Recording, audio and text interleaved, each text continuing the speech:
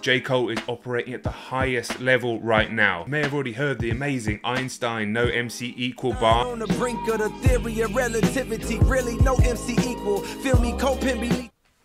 You take it back a couple of steps and it blows your mind even more. Some see the glass as empty, I see a glass full of ether. Check this out, prior to Einstein's theory of relativity, ether was a theoretical substance that scientists at the time assumed that allowed light to pass through it in the universe. Amazing. The next line, collecting his bread in mass like a Catholic preacher. So he's collecting a lot of his money, his bread, but in mass in Catholicism, bread is handed out by the priest for communion.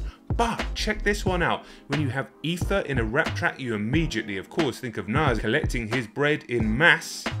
What is Nas's record label called? And it's this mind blowing attention to detail why